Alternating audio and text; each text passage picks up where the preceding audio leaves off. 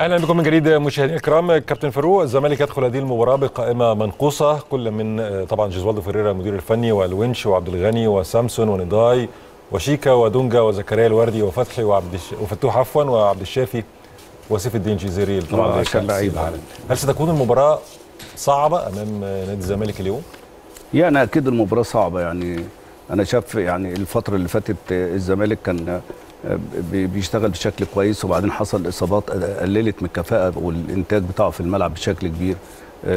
نتمنى إن اللعيبة دلوقتي اللي بتاخد الفرصة بتاعتها إن هي تثبت وجودها موجودة في الملعب يكون بديل كفء للعيبة المصابين لأن في لعيبة هتبقى مصابة لفترة أطول وكل الفرق بتبقى معرضة لفترة طويلة في الإصابات.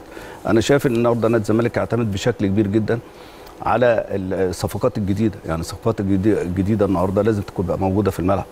بتلعب فريق المصري ايهاب جلال بيفكر كويس بيركز كويس بيبقى منظم في في طريقة الأداء بتاعه. كمان في التشكيل هيلعب على دي مباراه كاس هيلعب على المفاتيح بتاعه نادي الزمالك أداء نادي الزمالك الجماعي أداء نادي الزمالك هيلعب على المكسب. وأنت بتلعب مباراة النهارده كان بطولة. يعني مباراة الكاس كله مباراة اسمها بطولة. بتاخد منها الهدف اللي انت عايزه تروح تتنقل للبطولة اللي بعديها أو للدور اللي بعديه.